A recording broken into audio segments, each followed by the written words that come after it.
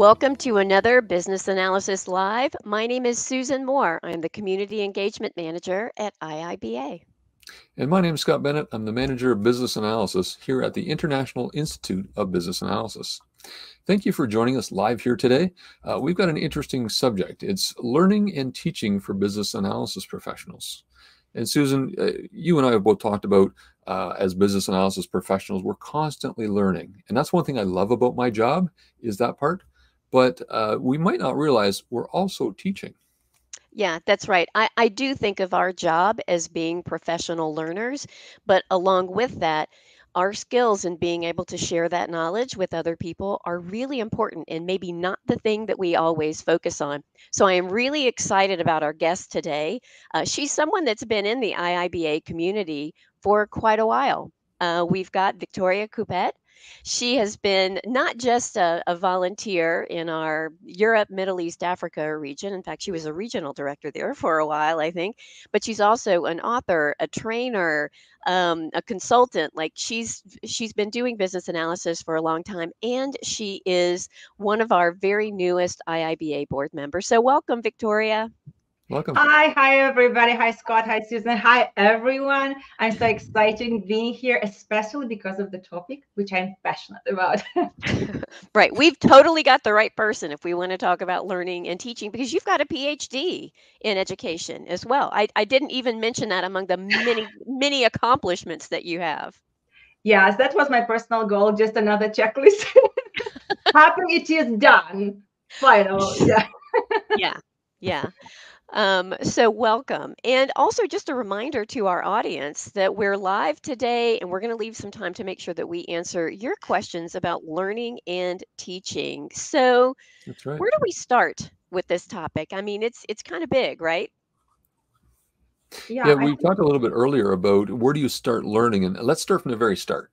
Learning a new role. That's probably a, a very challenging thing um, in a number of jobs I've worked through, people describe it as drinking from a fire hose. Um, you you get overwhelmed with having to learn so much information.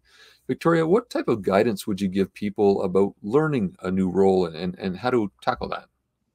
Yeah, that is a, a, very, very common scenario, especially in business analysis nowadays, becoming more and more popular. It's like old already, like it's an established domain, but many people are just starting learning it.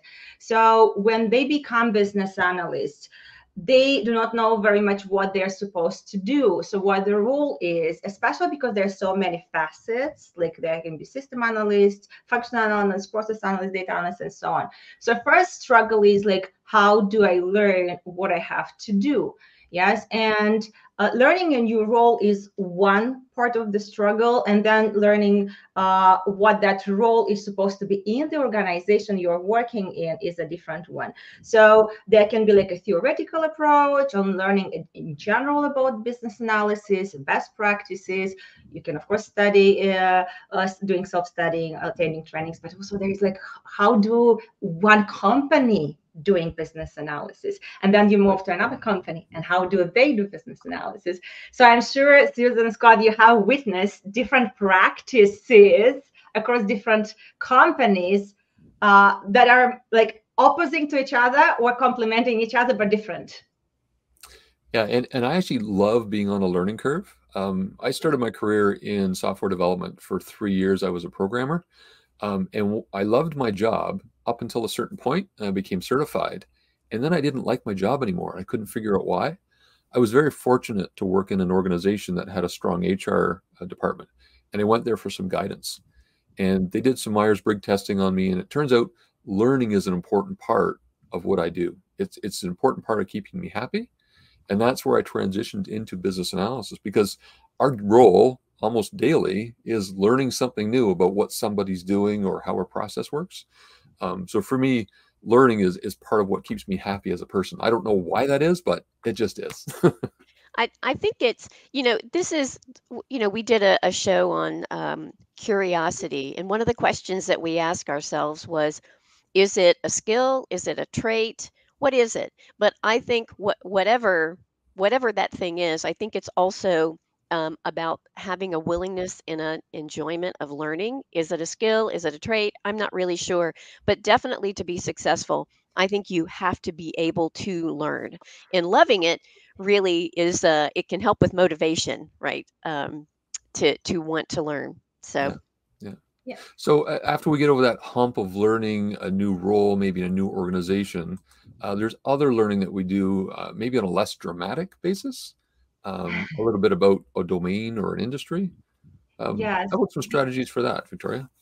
because there can be different like being a business analyst in banking fintech industry yeah versus in health and care so it's an additional layer yeah so first is like what actions should i do what techniques this is like a role based knowledge and then it's like content based knowledge like what is that uh, minimum knowledge that I have to be able even to understand what people say.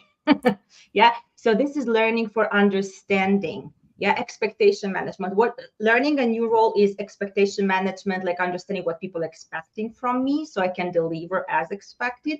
And learning a new domain is consuming information in order to make sense of information so that whatever we talk makes sense for other people.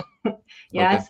And we use it in the right way, in the same way across industry. So, uh, of course, there are challenges because um, in both learning a new role and learning a new domain, if you're like zero zero in that domain, uh, you might need like theoretical knowledge, but that's not enough. Then you need practical. You need practice and a lot of feedback that you are learning correctly. And it's frustrating. I, you mentioned, yeah, like a little bit of frustration, attention. Yeah. And you, Scott, mentioned that you love learning because you love this tension. Yeah, mm-hmm. you love this excitement. yeah, some people are bored doing the same thing many, many years and they switch the domain. Yeah. Yes.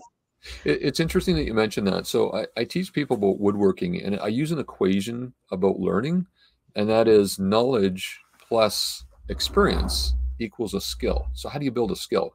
I'll put that up here. Um, so knowledge is understanding the theory, but if you've got the theory, you don't have the experience, you don't have a skill. If you've got experience, but you don't have the right knowledge, you're not really going to be skilled. So when I when I communicate this, it's it's not just understanding something; it's actually doing it as well. Um, So Mhm. I think that's that's important for people to realize that there's theory and then there's practice, and you need both of those to really become good at something. And and Susan, that probably relates to the dance that you do, right? Uh, Most definitely. Um, when I've taught dance classes in the past and I would have new students, um, you know, they would be, it might, it might be their first time in a dance studio and it might even be their first time dancing. And, you know, we're, even though I'm breaking things down for them so that they can learn the choreography, one of the challenges I think to learning can be our own frustration at, at the pace at which we learn. Um, because you know just like your equation says i've got to have knowledge but i've also got to have some experience and you know let's let's kind of talk about the brain science for a second. What happens when you're learning is that your cognitive processes are taking that thing that you've just learned in short-term memory and they're filing it away in long-term memory. Well if it's something you've never done before that process takes a little bit longer but your brain's really working. Externally it can feel like oh i'm not getting it or oh i'm i'm the slowest person in the class and that can be that can learning under pressure like that uh, like we sometimes have to do in organizations can be very demotivating quite frankly but i see it a lot and i just try to tell people hang in there like you can learn this you've just got to build you've got to practice and it is so true for many of the skills um, that we use as business analysis professionals. Yeah, and, and so rewarding when that finally clicks and you get it. yeah yeah but you got to hang in there for it Yeah. So a healthy dose of frustration is needed in learning because if you are reading a material and everything makes sense, you actually learn nothing. Mm, Yeah, it's kind of like, oh, boring. I already know this. But when you are struggling to understand, this is your learning actually. This struggling, this frustration. I was recently listening to a podcast about neuroscience and neuroplasticity. And um, the, there was like a dialogue between scientists and they said like if you're learning a language that is close to your language like english is germanic language so if you learn another germanic language you may struggle a little bit but it will be kind of like a doable struggle try try learning chinese or something that is far away from english or from your native language you will be highly frustrated but mm. that is where your brain is expanding. So mm. for health of our brain, we need expansion, we need learning, but not being comfortable. Okay, not being comfortable.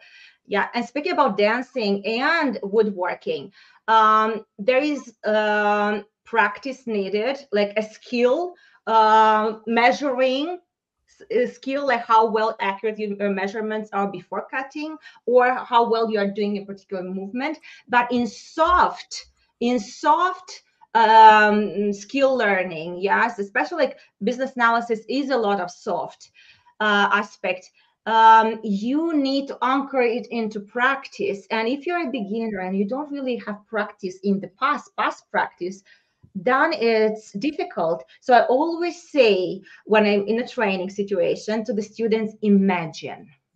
Imagine you would have this situation. Imagine you would have a project, or they just e- create a project, a fictional project, but imagine it's real and apply the knowledge. Application. Application is very important. And of course, frequent feedback and openness for feedback, not being afraid of mm. mistake self irony feeding on your mistakes like uh, laughing yourself on your mistakes that is healthy attitude when learning yeah it really is and and you bring up something else that's really um that's really important is being coachable right because none of us are perfect in everything, but if you have an openness to learning and an openness to take feedback, even though it can be difficult to hear, you will find that that is the thing that gets you better at it. It's just, you know, it's it's um it's a really good trait to have or skill or whatever we're defining this as today. It's a good one to have. Yeah, good point. Yeah. So let's switch gears a little bit from the learning to the teaching. So, uh, you know, as business analysis professionals, we might not think of ourselves as teachers, but we are communicators. We absorb information. We also have to share information. Um, so there are different ways that we can do that. And Victoria, um, you are the definite expert at this. Um, how can we share knowledge in an impactful way or teach in an impactful way? Mm-hmm. So let's first discuss the difference because I can share knowledge and I can teach that knowledge. What is the difference? When I'm sharing, I can say, guys, this is the information, take it, do whatever you want with it. That's sharing. But if you are teaching, you need feedback that the audience understands. Yeah, they understand what you are sharing. This is the difference. And now you need to think, okay, what are the needs? What the audience needs uh, as from the point of like format, way of presentation. So some people are visual learners, so you need to visually share information in a visual way. Some people are kinesthetic learners, so you need to give them context, a lot of details. Yeah, so like a graph or a PowerPoint with few bullet points will may not be enough. Some people are auditory, have auditory preference. That means that they enjoy stories. Tell me stories. So when you share yes when you share you need to be aware of like who am i sharing information with? Is it more like a teaching that i'm doing so i need to collect feedback? Or is it more like a broadcasting? Yeah broadcasting information and integrating learning styles as well. Yeah one thing i've, I've realized over the years is i'm a visual learner so i always mm-hmm. gravitate to understanding graphics and when i think through things i draw them out and when i communicate i draw them out it's only one way of learning right? If if i'm always communicating that one way it might not resonate mm-hmm. well with everyone i'm speaking to. Yes yeah. It's definitely yeah, targeting a group. Segmentation.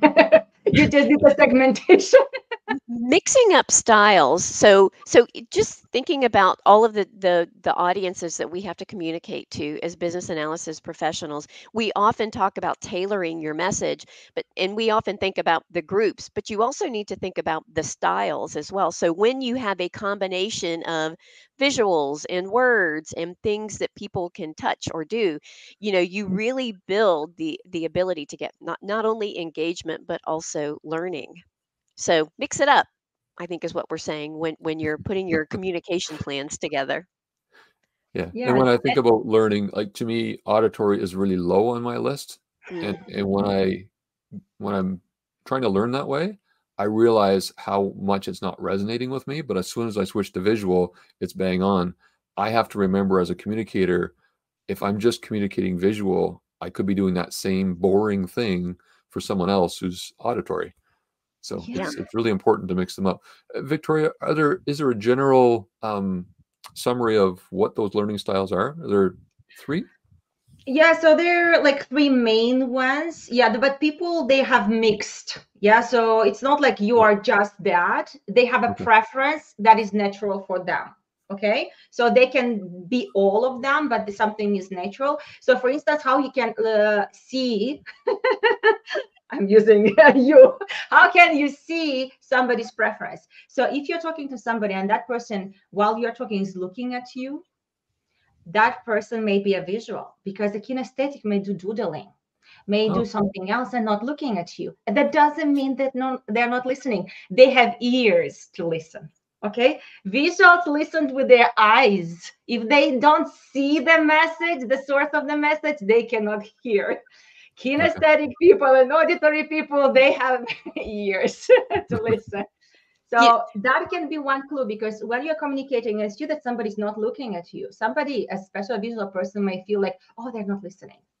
Yes, they do. yes, they do. Especially if it's the message is important and interesting. Yeah.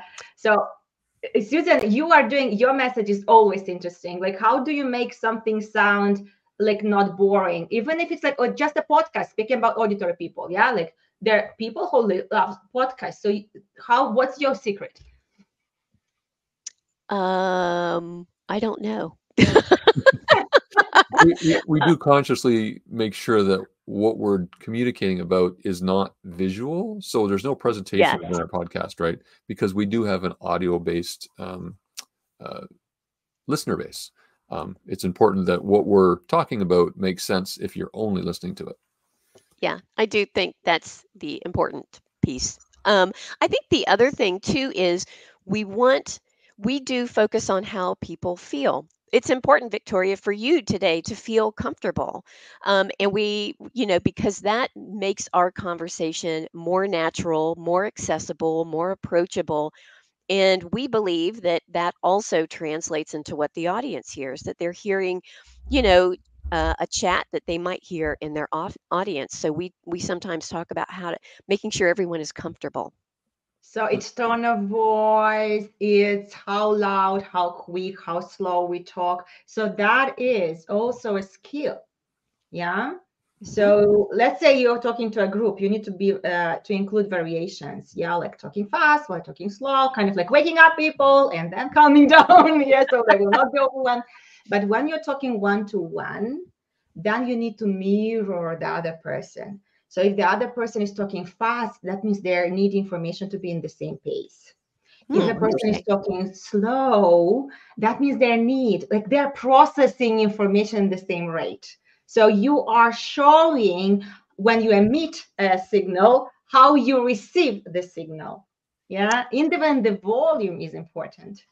Yeah, Oh. I that's that's a, a really good point is is and I, I I think it's listening, but I feel like what you're describing is listening with all of your senses um, to know how best to communicate with someone. Because I'm hearing you say you've got to listen with your ears, but also your eyes and your heart and your brain and your body. So it's it's like it's big listening.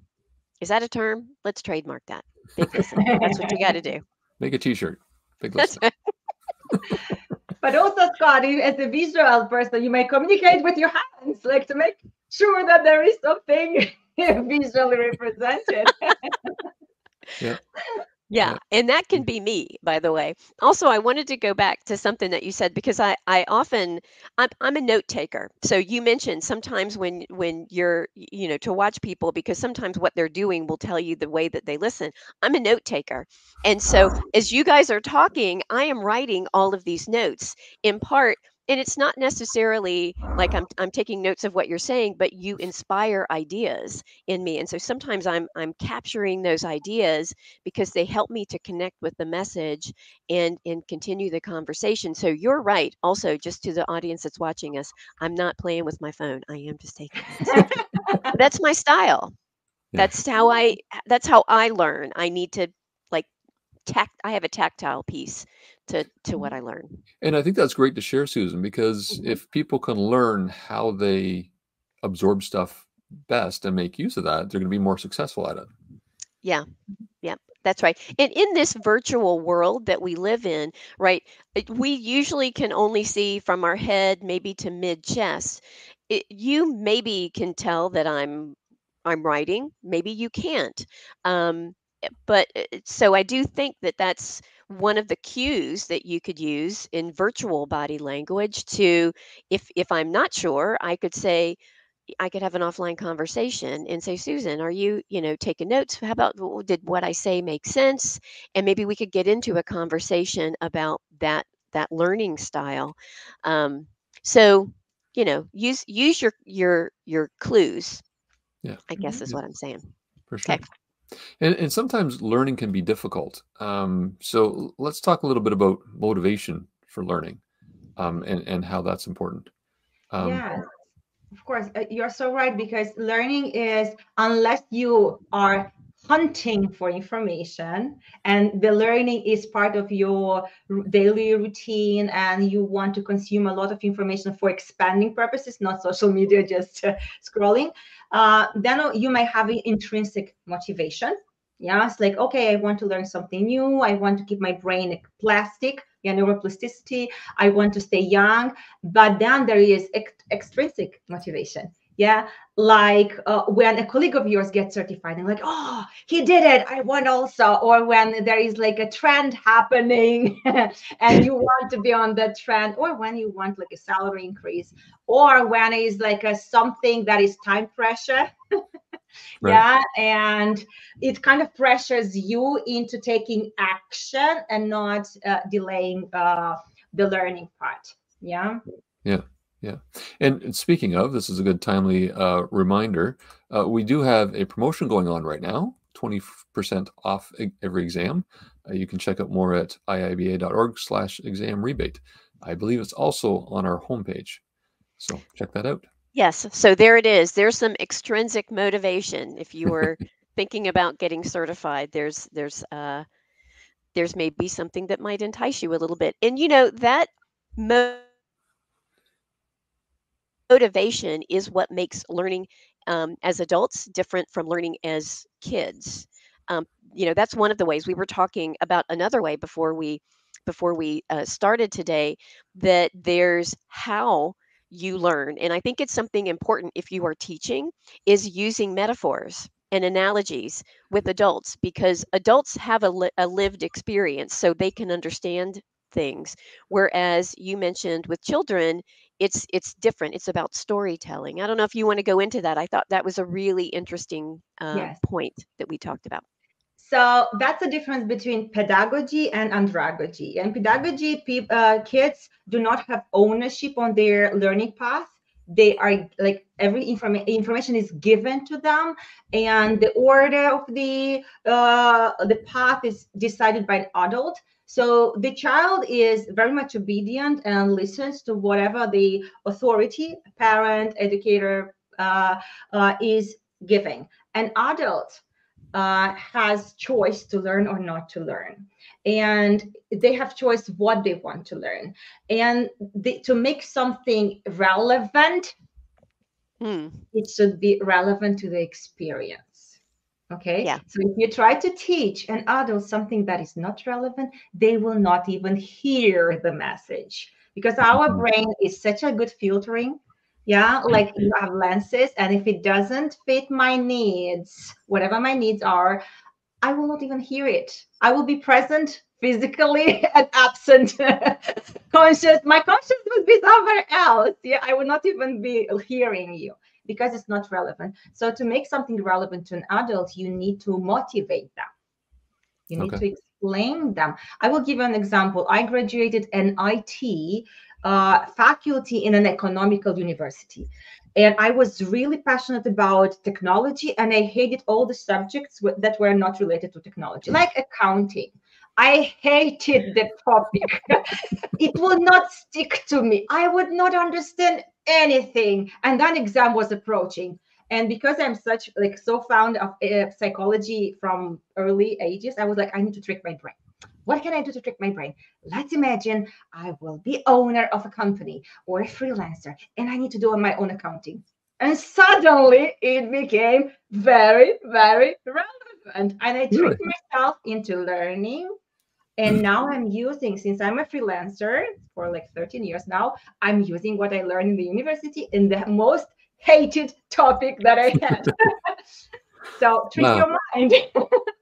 I, really you know what? I think this is this is uh, this is interesting. So I'll I'll tell a story, a very quick story from my past as well. Um, I also am not into math, and most traditional ways that I think I I learned math as a kid just didn't resonate for me. But when I was in high school, I was taking a required math class. It was some sort of advanced math class, and I was taking a computer programming class. And I I had just programmed this computer to do I forget the kind of equation it was. It was a very specific equation, and I just programmed the computer to solve it. And almost the next day, we had a pop quiz in the advanced math class, and that equation was on it. And I literally walked through my code in my head and answered the, the, the problem. And of course, I knew I had it right because I knew the answer. But when my teacher came over, she said, You got this right, but I have no idea how all of this got to the answer, but it works. So oh. that so that was a clue way back then that maybe I needed to be in IT, but I do think it is about application. So I realized that it wasn't that I didn't understand math. I understood it perfectly. I needed to I needed it to be in a different way. Um, and so that was kind of a clue that unlocked and I really wish that she, that teacher has passed on, but I really wish she was still around so I could tell her that that made a difference in my career choice. That wow. that story. Yeah. Nice. So yeah. yeah. Well, I tell you what, we have we have been getting some questions and some comments today. What do you think? You want to you want to go over and start to take take some audience feedback? Yeah, let's jump into that.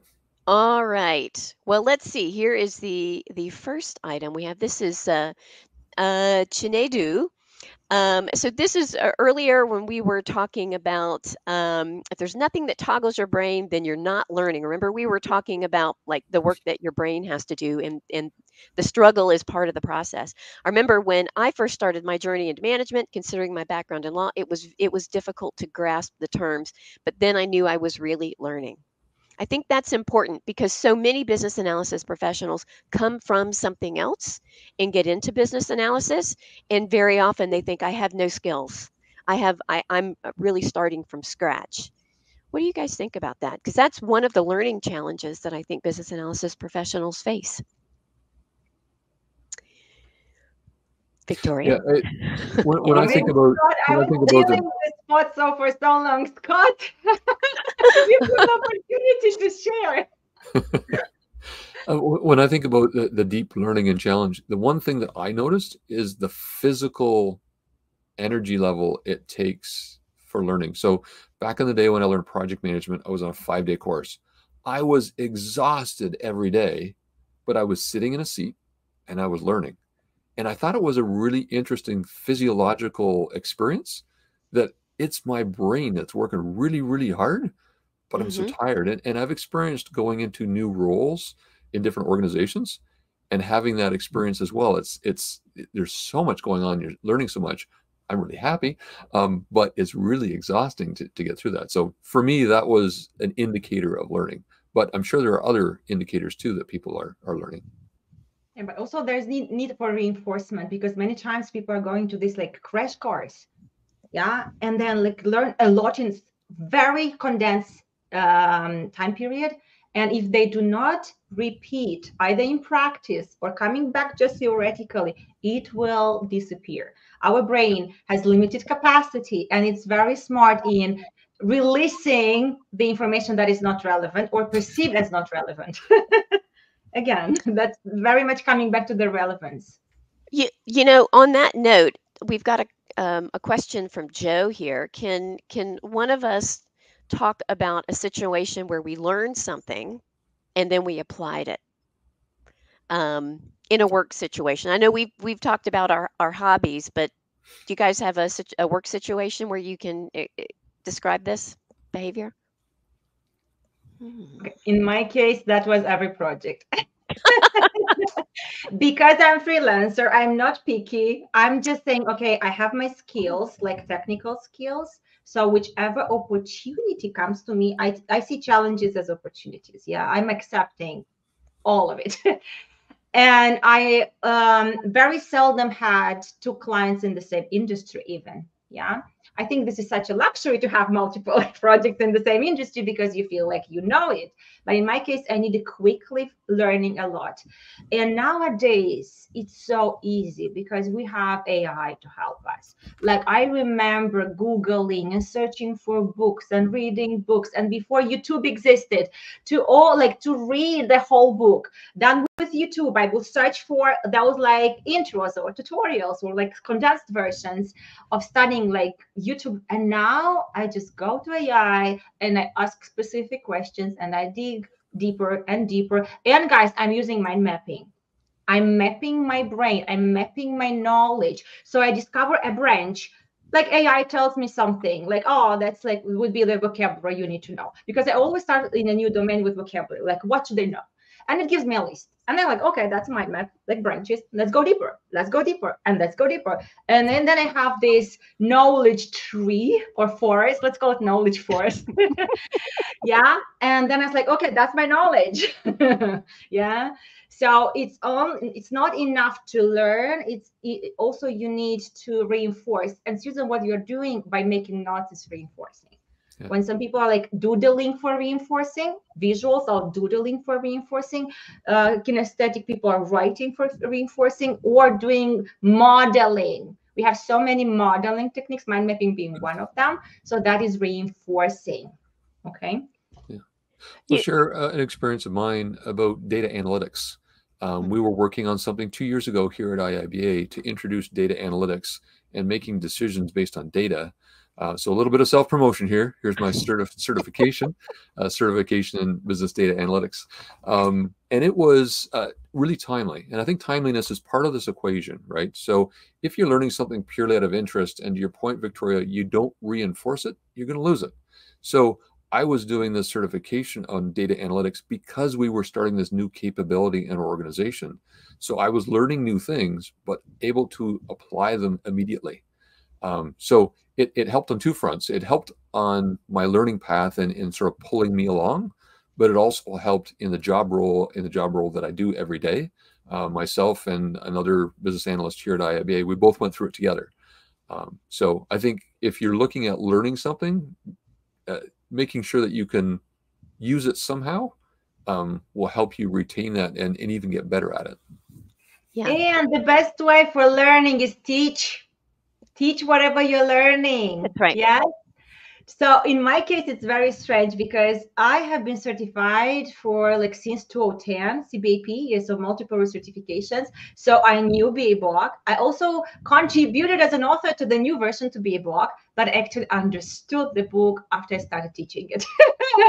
okay. Because when I was writing it as other contributors, I knew very well my area, and then I kind of understood the other areas, but kind of like okay on a very superficial level, enough to pass the exam when I started teaching it, oh my gosh, you cannot escape the questions.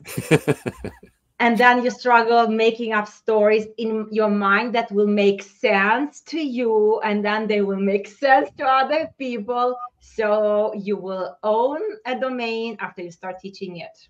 Yeah, not for money, just like mentoring people, like mentoring, speaking about sharing information Yeah, you can be a mentor, you can be a coach, you can be a trainer, like internal trainer in, orga- in organizations. Yeah, but sharing helps understanding. A, a lot of people feel like, oh, I don't want to mentor others or coach others because I don't know this topic, but you're exactly right. And that's even what science shows. One of the best ways for you to really learn something is to have to teach it because you are going to get questions, you are going to you're going to have your own questions and you've got to dive deeply. So teach teach something that you sort of know about um, it'll it will it will really apply that learning so all right so let's let's keep moving here. Um, again, we've we've got we've got comments mixed in with questions today. So let me share a few of the comments that we've had. Here's um, a comment from Nicola: being comfortable using failure is a positive way to learn. I, I think that's really important. Stop thinking of failure as you didn't learn something. Trust me, you learned something when when you encountered the failure learn to accept that and i feel like as a dancer that is getting older i am i am fully embracing uh, kind of where i can't do things anymore and it doesn't mean i can't dance it just means i need to modify or i need to try it again. Yep um, Nicola also added this I think BAs are teachers. We have that special skill set and our brains are trained. We need to teach our stakeholders, usually uh, there's a lot of repetition in that teaching, but we also need to under, understand their motivations and learning styles. So being able to communicate um, in order to share knowledge is just a critical part of what we do. Um, also, shout out to Connor because um, he started the hashtag big listening. Thanks, Connor. Oh my goodness. Let's see. Um, we also, uh, Chinedu followed up with this session is super amazing and timely because I'm hosting a business analysis webinar um, on this topic. He, he, there were some other comments that he added, but this is something that he's thinking about. So good luck on that talk.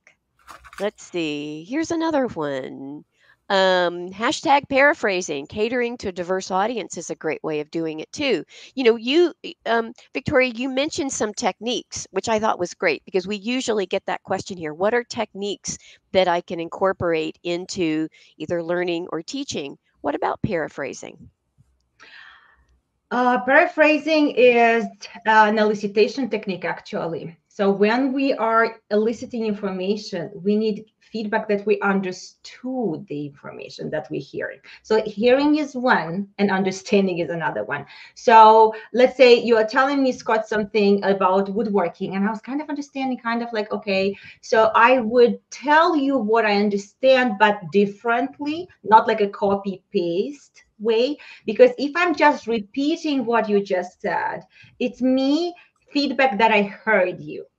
But if I'm paraphrasing, that's me feedback that I understood. But also, um, paraphrasing also can mean like changing the abstraction level because when we talk about top management, we really need to have keep it high level. Yeah, not going in details. When you go deeper, you need to uh, add more and when you go even deeper like technical people you you change the message the format of the message and that's paraphrasing. But also to give a funny story speaking about giving back to your certification cbda certification i was teaching a class on cbda for non-tech people for managers. You can understand the struggle of explaining technical highly technical algorithm to a non-tech people who would never use it in their life. So the struggle was real. So I asked ChatGPT to say, "Help! Can we explain this like to a teenager?" Hmm. Okay. Okay. So the ability to explain complex a complex concepts in an easy way is also like paraphrasing almost, but it's simplifying by using analogies yeah? So it, i like the statement if you cannot some explain something to a child that means you don't understand it. So basically it's a way of checking if you really understand a concept. That's very for that. very interesting. Um, a, a, bit of a research hack. Uh, i was studying climate change um, and i was looking how to teach it to people. Um, and i went to the children's book section in the library and I got out a bunch of books that were on climate change. And they were so crystal clear in terms of how they communicated that I realized, well, this is how you communicate to the average adult that doesn't understand this. I, I, I like what you're saying there. So a bit of a, a research hack. If you, if you can do it, find the children's version of whatever you're trying to teach because it might be a good shortcut. Oh, yeah. I really, yeah, I really like that idea um, because that that really gives you an opportunity to kind of learn it at that foundational level when it's a topic that is really outside of your your knowledge. Great hack. I like that. Um, well, we are, I think, at almost at the end of our time today. But gosh, looking at the the comments that we've had, boy, this topic is really um, resonating with our audience today. Um, I think we have we have informed some folks, so we've actually done a really great job of of talking about this topic. Um, so maybe we'll have some new teachers out there. yeah, um, yeah, it'll take right. this back to their work. And, and, we are getting to the end of our season here. Um, it's December. Uh, we've got one session next, and, and Susan, I'll leave you to introduce that. But Victoria, we talked when we first got on this call. Um, it's St. Nicholas Day. Um, so happy yeah. St. Nicholas Day for those people that uh, celebrate that, acknowledge that. And Victoria, thank you for sharing your expertise today. We'll leave a link in the video description for the YouTube video when it comes out um, so people can connect with you. But uh, thank you for sharing your expertise. And thank you again for all of the volunteer work that you do for IIBA. Yeah, thank, thank you for you having me. It was super fun.